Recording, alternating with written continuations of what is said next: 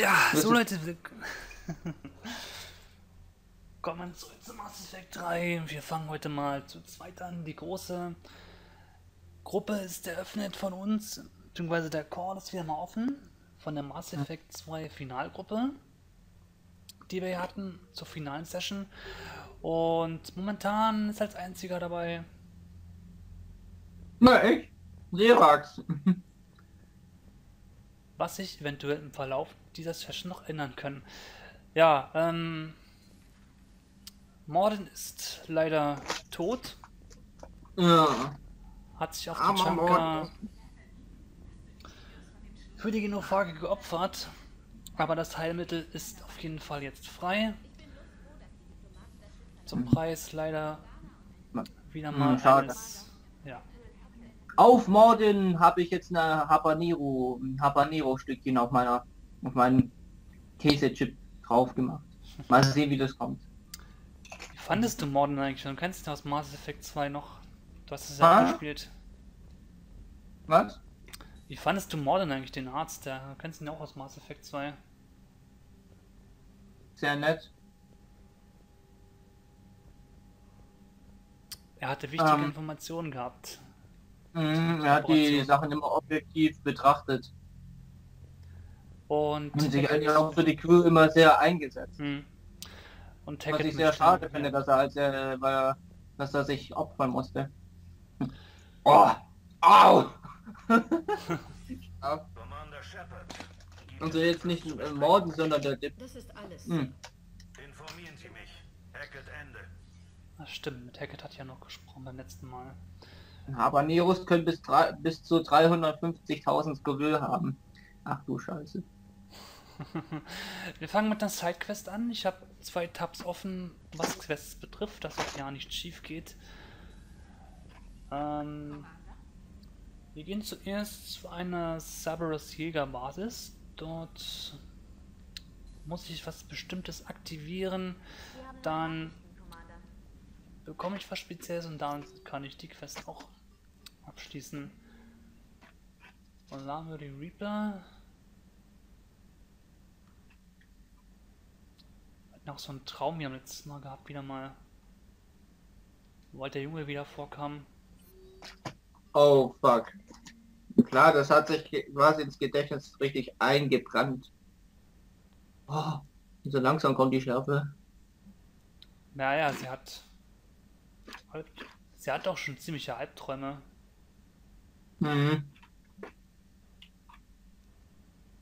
Deswegen hoffen wir mal, dass dieser Krieg zu unseren Gunsten entschieden wird. Mhm. Und ich Dass kann die- sagen, Dass die fucking Reaper dafür büßen werden. es wird tatsächlich Leute mit Mass Effect Andromeda weitergehen. Da ich jetzt im Besitz einer Neuer Xbox One bin. Aber es wird eine komplett neue Story werden. Und komplett neue Aufwertung, weil es ist Xbox, also es ist die andere Seite. Aber naja, hab mir da schon was ausgedacht. Aber dazu komme ich dann, wenn es soweit ist. Das wird auf jeden Fall sehr nice. Und es wird, wenn es geht, wieder ein Weibchen.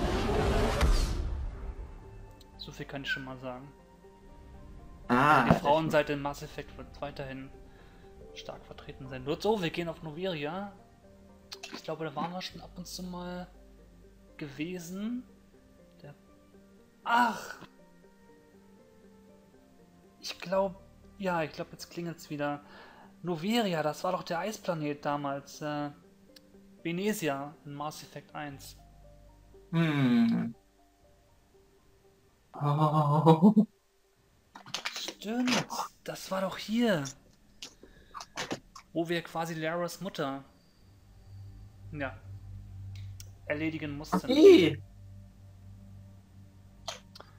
Apropos Lara, ich denke mal, wir machen mal wieder ein Frauenteam und nehmen Lara und Eddie mit. E Edi. Das kann eigentlich Javik. Ich weiß es gar nicht mehr. Äh, müsste ich auch mal hier nachlesen, aber die Expertin ist ja leider momentan nicht da. Wanni müsste das wissen. Aber im Berater müsste es eigentlich auch ganz gut drinstehen. Sie hat halt Pistolen. Ich könnte mal mein Sturmgewehr upgraden. Was habe ich denn? Äh, Ich könnte die Kapazität ein bisschen erhöhen. Und ähm, Hm. ja, Ja, Kapazität muss erhöht werden. Ich würde es auch präziser machen.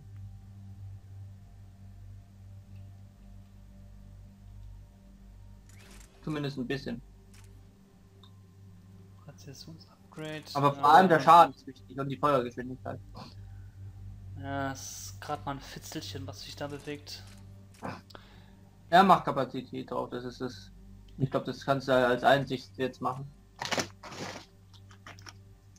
Hm. So, Kra ähm, Kräfte. Ich würde, ähm, ähm, was für Gegner hast du bisher so kennengelernt? Waren es mehr so Roboter, also Synthonoiden oder waren es mehr so Viecher? Also es waren, ja, ich würde mal Kannibalen so als Viecher bezeichnen, weil es waren ja so eine Art Mutationen. Ich würde noch mal ähm, eins auf, äh, auf äh, Disruptor machen. Ach ja, stimmt, Ah. war ja ein bisschen anders hier als in Mass Effect. Ah, warte mal. Ähm, erhöhte, erhöht Gesundheitsschaden um 5%, erhöht Schild- und Barriereschaden um 20%. Was ist drunter? Verbessert die Chance, ein Ziel zu betäuben um 25%. Ich würde meinen, das obere sieht besser aus, weil dann füllt sich der Balken immens. Ja. Seiten. Deswegen, Das wäre gut. klar. Dann fruchten die Schüsse mehr. Ich muss zwar nicht zustimmen, die haben hier das Upgrade-System in Mass Effect 3 Mhm. Wesentlich besser. Ja. Ich schätze mal, dass auf dem Eisplaneten der Synthonoiden sich umtreiben werden. Wegen der Kälte. Wirklich.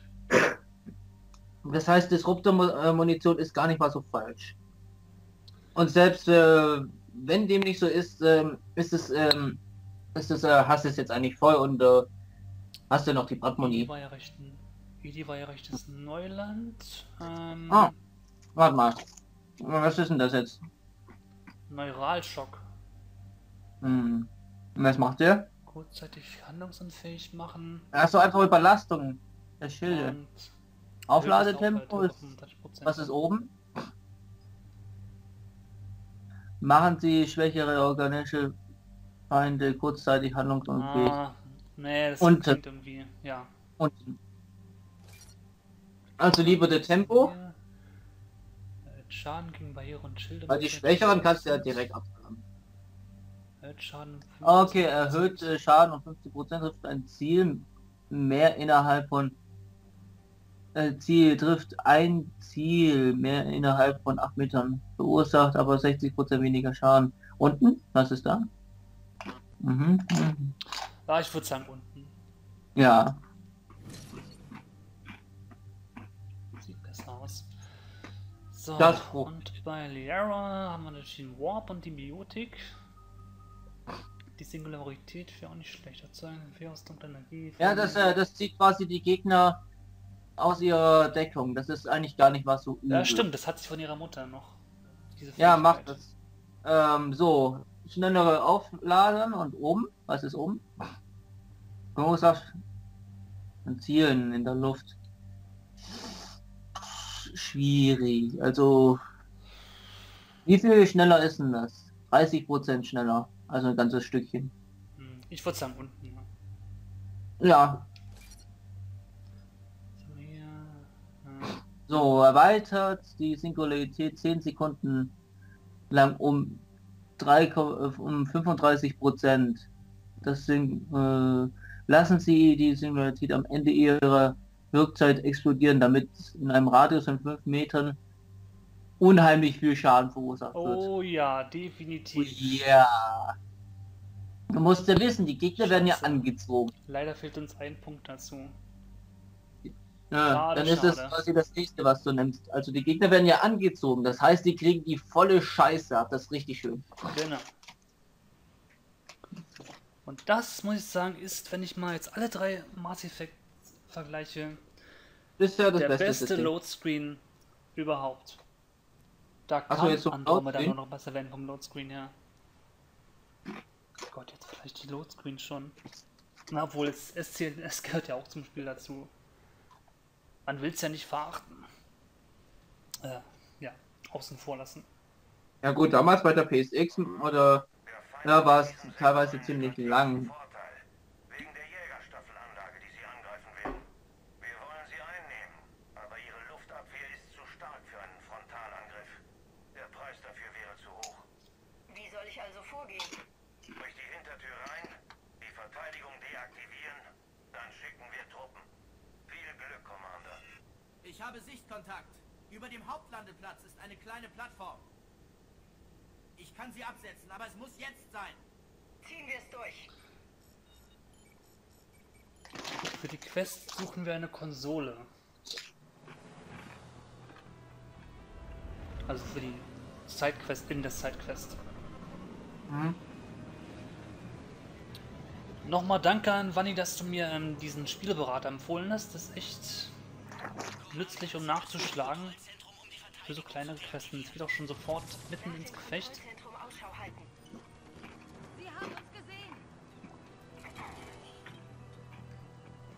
Schnell die zuerst da oben ab. Kopfschuss bitte. Da machst du nämlich doppelt Schaden. Wenn die sich bewegen, ist es meist ein bisschen schwieriger, als wenn sie stehen bleiben. Ja, schön auf Kopfhöhe. Das war nicht im Kopf. Schlag den einmal. Ah, was war nochmal? Achso, Kreis. War ja Nahkampf. Headshot. So, schön. Ja.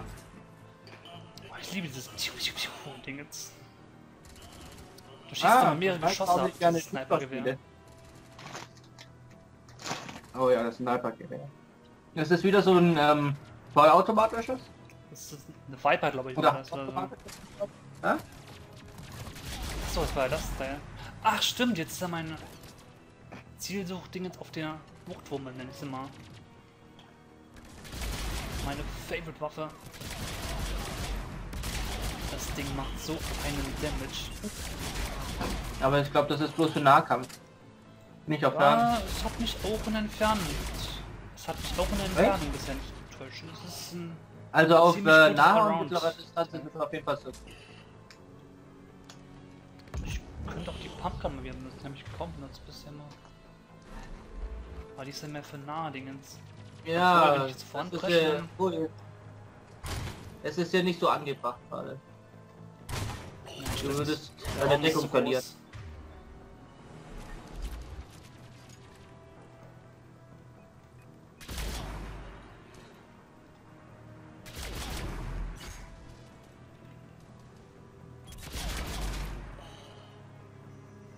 Eigentlich passt das andere Teil doch mehr zu der Sniper.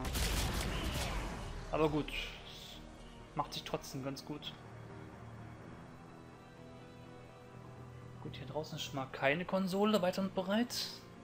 Die scheint wohl logischerweise drin zu sein. Da unten geht es auch noch lang. Äh, ist die Frage, ich kann ja manchmal nicht zurückgehen.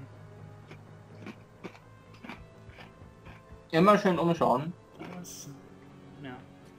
Ersatzteile bergen. Ah, da Lehrer schon da lang geht, würde ich sagen, da unten geht es auch weiter. Im Hauptgebiet.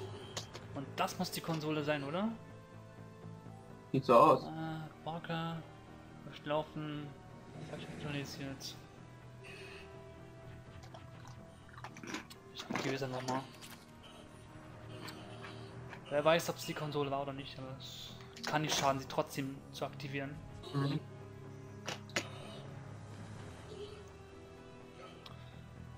Und ein paar Credits hast du auch.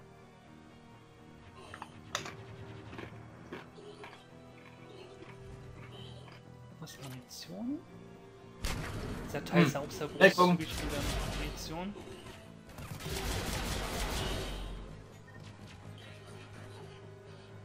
Schieß von rechts. Spring da drüber. Oder arbeite mit dem Eck hier.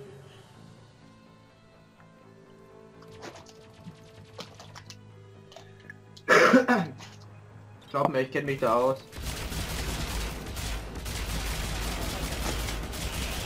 Wie man die Gegner richtig handhabt. Meistens.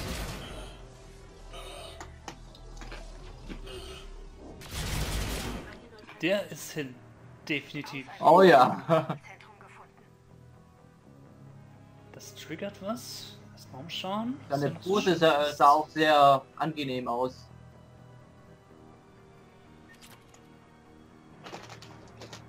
Tatsächlich der Planet Noveria, auf dem wir damals Matriarchin Menesia bekämpft haben. Das war der Moment, ähm, ja, das war sogar ein Knackpunkt im Mass Effect, denn hier auf Noveria habe ich zum ersten Mal dann gelernt, Fähigkeiten zu benutzen, was mir durch übrigens auch deine Hilfe von damals, ja, den Arsch gerettet hat. Ach, gern geschehen. ich will ja nicht, dass der Schmacki da 20.000 Mal stirbt.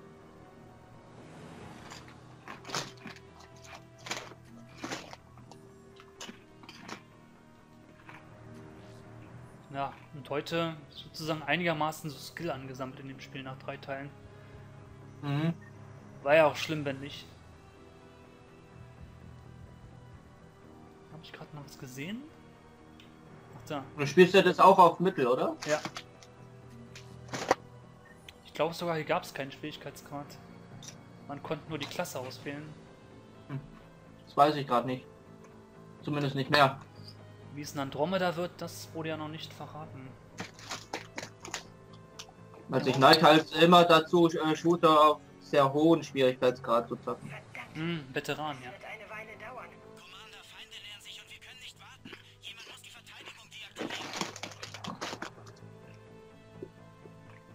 Äh,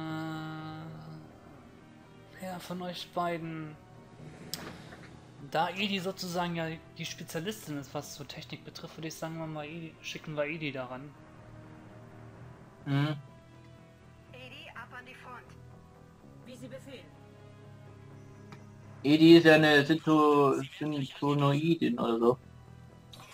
Quasi ein Cyborg heutzutage. Früher war es einfach nur so eine Kugel. Nein, äh, kein Cyborg, ein, Dro- ein Syntonoid.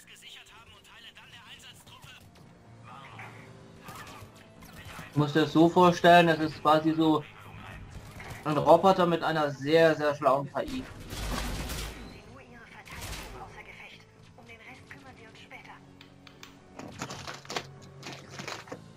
Ach stimmt, Deckung war ja X-Taste. Niemals die Deckung vergessen. Richtig.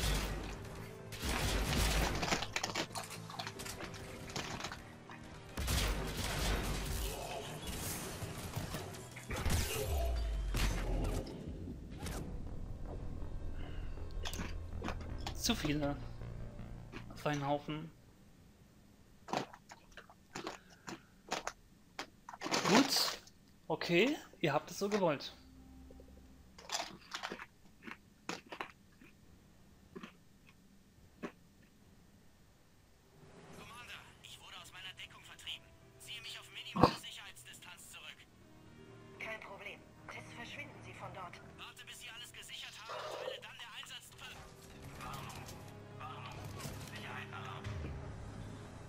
Alter Schwede, ist der Tipp scharf. Boah. Boah. Ja, der guten Hamaneros, ja. Oh.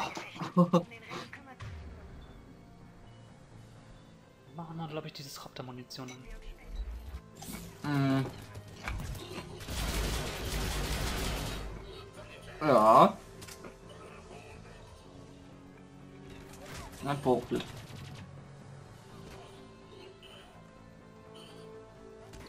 Vielleicht war das Visier auf der Waffe. Aber, ähm, ähm, wir haben ja Schilde, oder? Nein. Ja, haben sie. Ah, Geh doch in Deckung. scheiß Rolle. Ja, hab mich gerade aus der Oh. Ecke gerollt. Ich glaube, das war ein Fehler.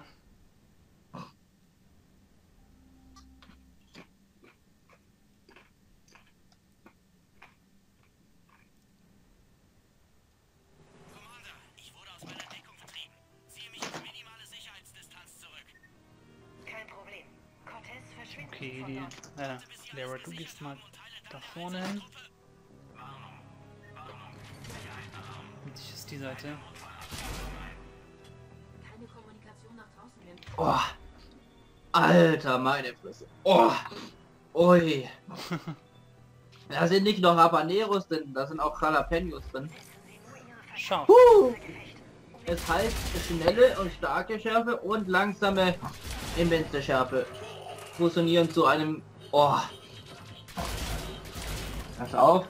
Ja, Schildtypen sind scheiße. Mhm. Sniper den mal weg.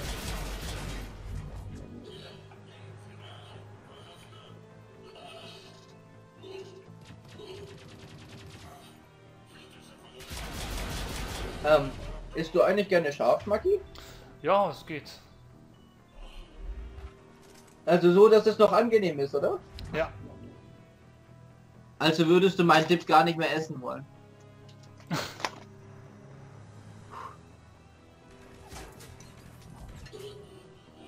Kehlenschneider ist ja dir zu scharf, oder? Ja, war ja. Echt? Definitiv. Ja, ich habe vor kürzerer Zeit so eine 700.000 skurril scharfe Currywurst gegessen. Zum Vergleich, der Kehlenschneider hat ja 800.000. Shepard, anscheinend benötigt der Shutdown einen synchronisierten Befehl. Okay, hab's verstanden. Dann... Klar. Mit anderen Worten, ziehen wir zusammen. So Community-Frage. Ähm, wie äh, esst ihr eigentlich auch gerne scharf und äh, wenn ja, äh, wie scharf isst ihr denn?